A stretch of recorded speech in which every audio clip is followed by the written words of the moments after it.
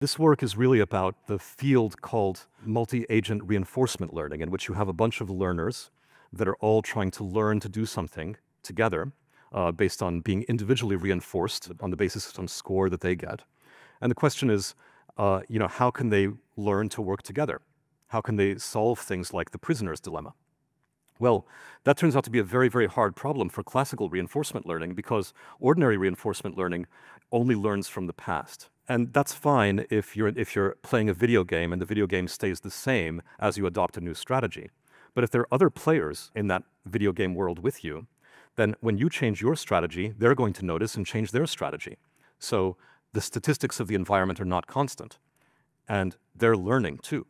So you have to learn about them and you have to learn to predict what they're going to do in response to what you do. And you have to learn that they're learning and that they're also predicting you and that they're predicting you predicting them and that you're predicting them, predicting you, predicting them, and so on. So, uh, so this is a really hard problem, and, and the, the, the paper, it's gotten to be 100 pages uh, or so and has some very, very complex math in it because modeling an environment that includes the thing that is modeling the environment and all the things in the environment that are modeling you back turns out to be a difficult problem. But the team has figured this out, and, and the results are really cool. And the, the way you do this is by getting rid of the idea that you are outside the video game and putting yourself in the video game. So in other words, you have to not only model the environment uh, like you know AlphaGo does, where you know you're, you're thinking about a, a Go game or a chess game and you're just imagining the game. You have to imagine yourself playing the game as part of the environment.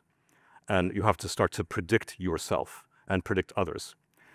The reason is we have a face, if you like. Uh, you know, when I smile, I know what I feel like on the inside because I've built a model of myself.